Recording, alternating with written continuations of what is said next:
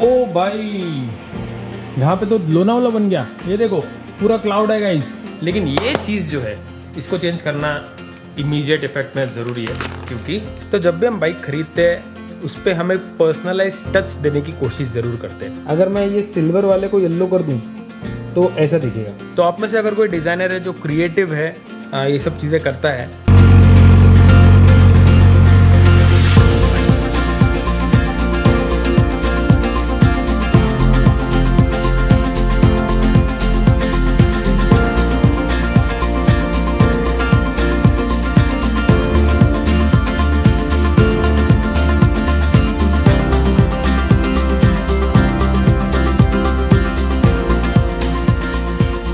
दिन से बारिश कम हो रही है तो इस अवसर का फ़ायदा लेंगे। अपना तूफ़ान है निंजा थाउज़ेंड उसको अच्छे से धोएँगे अभी। And this will the first time मैं निंजा खुद धोऊँगा। मतलब धोया मैंने अकोला में, लेकिन वो ऐसे बस पानी मार के क्लीन किया था।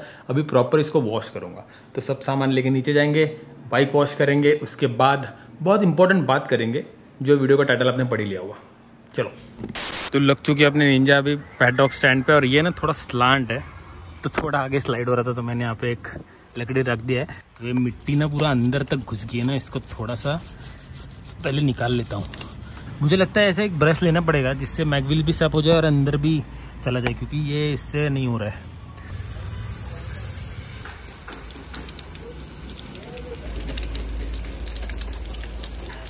पर दोस्तों, अभी तक काम हुआ नहीं है।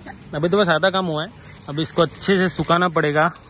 तेल मालिश मतलब पॉलिश वैक्स ये टायर भी चमकाऊँगा मैं सब कुछ चमकाऊँगा आज। और अब तक किसी ने भी चैनल पे विदाउट डीबी किलर एग्जॉस्ट का साउंड सुना नहीं है तो बहुत जल्द मैं करूँगा वो। बस इसको निकालना है ज़्यादा नहीं है। मेरे पास ना बग एंड टायर रिमूवर है इससे देखते ही ये ब्लैक स्पॉट जाता है क्या एग्जॉस्ट पे का? आई डोंट थिंक जाएगा। उसको मुझे लगता है कुछ वो पेस्ट मिलती है ना? इसका कलर और चेंज हो सकता है प्रॉपर टाइटेनियम कलर आ सकता है। उसको बस एक बार अच्छे से मुझे क्लीन करना पड़ेगा पेस्ट से तो वो बारिश के बाद ही करेंगे। नहीं निकल रहेगा इस इसको कुछ तो करना पड़ेगा। चलो, हो गया अपना तूफ़ान बाबा एकदम चकाचक। अच्छा कैसे डिटेल में साफ़ किया मैंने, देखो। रेम वेम एकदम चकाचक है, अंदर से भी चकाचक है। वाह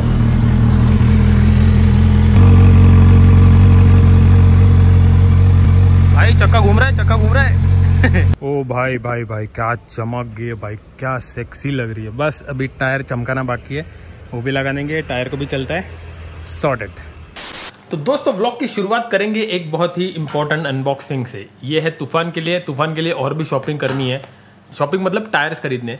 तो सोच रहा हूँ कि वो बाद में खरीदूँ, क्योंकि टायर्स बहुत कॉस्टली है यार। कम से कम कम से कम एक सेट ऑफ़ टायर जो तूफ़ान का है the lowest is twenty five thousand twenty five thousand thirty eight thousand forty five thousand sixty thousand बाप रे।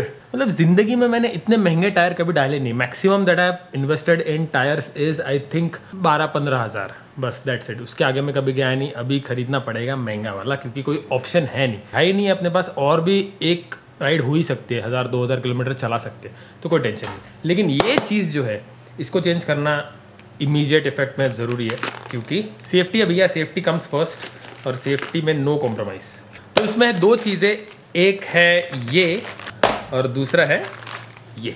तो ये है rear brake pads for my Ninja one thousand to Toofan, क्योंकि रियर ब्रेक पैड उसका काफ़ी कम हो गया है तो अभी मैं अकोला अमरावती जाके आया, अभी I think I should change it सामने वाला काफ़ी है तो सामने वाला मैं नेक्स्ट सर्विस में चेंज करूँगा मतलब पाँच हज़ार छः हज़ार किलोमीटर के बाद। मैं हमेशा ईबीसी ही यूज़ करता हूँ बिकॉज़ थोड़ा I don't want to compromise on safety ऊपर से कावासाकी के जो ब्रेक पैड्स है और ये है मतलब काइंड ऑफ़ सेम ही रेट है। तो why not E B C E B C is very famous for that not sponsored at all ये मैंने खरीदा है। और तूफ़ान पे भी सॉरी तेंदुए पे भी हम ई बी सी ही डालते हैं। तो इसको आराम से इंस्टॉल करेंगे। अभी फ़िलहाल अर्जेंट नहीं है, लेकिन मुझे next trip next ride on Toofan, उसके पहले ये चेंज करना पड़ेगा। तो ये है, और इसके साथ साथ ये भी इंस्टॉल करेंगे। ये अपने बाइक पे है ही नहीं। तूफ़ान पे there is no charger so ये एक मैंने काफ़ी अच्छा चार्जर मंगाया this is of Cliff Top क्योंकि कैसा है ना बादल पे अगर मुझे चार्जर लगाना है तो वो मैं नॉर्मली अमेजोन से खरीद के लगा दूँगा, कोई टेंशन नहीं है। क्योंकि वेरी फ्रेंकली उसमें ज़्यादा इलेक्ट्रॉनिक्स नहीं है तो कुछ प्रॉब्लम आ गया, कुछ शॉर्ट हो गया, कुछ हो गया तो it is very easy to repair लेकिन तूफ़ान जो है, वो निंजा थाउज़ेंड उसमें तो कोई भी रिस्क नहीं लेंगे। एक ट्राइड एंड टेस्टेड अच्छी ब्रांड का प्रोडक्ट मंगा लिया है। ये सिगरेट लाइटर चार्जर है, जो 12 वोल्ट का सॉकेट होता है। मैं यूएसबी वाला लेने का सोच रहा था, लेकिन प्रॉब्लम ये है कि कभी अगर काम पड़ा इन्फ्लेटर लगाने का या कुछ और चीज़ लगाने का जिसमें यूएसबी नहीं है, जो नॉर्मल कार में जो सिगरेट लाइटर होल होता है, वो अगर चाहिए तो फिर वो प्रॉब्लम आ जाएगा। तो इसीलिए ये लिया है। इसके बाद मेरा अडाप्टर है, वो लग जाएगा, यूएसबी भी हो जाएगा और नॉर्मल भी हो जाएगा। इसको मैं फ़िलहाल खोलूँ क्या? खोलने की इच्छा, चलो ठीक है, खोल लेते तो ये देखो, ये वो यूनिट है, ठीक है, इस पर लिखा हुआ है power output 12 volt 120 watt 12 volt is kind of strong तो अगर आपके पास एक फास्ट चार्जिंग अडाप्टर है, आपका फ़ोन फास्ट चार्जर है तो इस पर जल्दी काम कर जाएगा इजीली काम कर जाएगा। ये देखो, इसमें रबर सील है तो ये रबर सील निकाल के, और ये सील काफ़ी स्ट्रॉन्ग है यार। तो this is completely waterproof थोड़ा महँगा है it's around seventeen hundred rupees I know थोड़ा महँगा है, लेकिन for the bike that we have थोड़ी अच्छी चीज़ें लेना ही बेटर है। और इसका वायरिंग वायरिंग सब अंदर है। तो वो मैं अभी जब इंस्टॉल करूँगा तभी लगाऊँगा। फ़िलहाल इसको नहीं निकालेंगे। वैसे यहाँ पे M R P two thousand लिखे है, लेकिन आपको मिल जाएगा। सत्रह सौ, अठारह सौ रेंज में मिल जाएगा। You can search online Cliff Top universal ये ये आप गूगल पे सर्च करोगे तो आपको बाइक एंड बाइकर या काफ़ी सारे वेबसाइट पे मिल जाएगा। जस्ट इनके साथ आपको खरीदना है तो ये खरीद सकते हो। और ये भी आपको वैसे ही वेबसाइट पे मिलेगा। ये अमेजोन पे ये सब नहीं मिलता। आई थिंक सो नहीं मिलता ये वाला। ये तो नहीं मिलता। तो जी, और भी खर्चे हमको आने वाले हैं तूफ़ान पे, जो इसेंशियल खर्चे हैं। वो टायर का खर्चा और फिर नेक्स्ट सर्विस में सामने के ब्रेक पैड और एयर फ़िल्टर लेकिन उसको काफ़ी टाइम है स्पेशली सर्विस को। तो मैंने सोर्स करके रखे है। अभी बस ख़रीदना बाकी है तो वो मैं नेक्स्ट मंथ खरीदूँगा। ये मंथ तो मेरा टाइट चल रहा है। चलो लेट्स सी देखते हैं। तो जब भी हम बाइक खरीदते हैं उस पर हम पर्सनलाइज टच देने की कोशिश ज़रूर करते हैं। कुछ ना कुछ तो करते ही है। अब कोई भगवान का स्टिकर लगाता है, कोई ग्राफिक लगाता है, कोई रैप कर देता है, कोई खुद का नाम लिखता है। अब जब से मैंने तूफ़ान लिया है निंजा थाउज़ेंड तब से मैं सोच रहा हूँ कि उस पर कुछ तो करना है। मतलब एटलीस्ट अपने चैनल का नाम ऐसे लिखना है जैसे वो थोड़ा ग्राफिकल लगे और थोड़ा अच्छा लगे।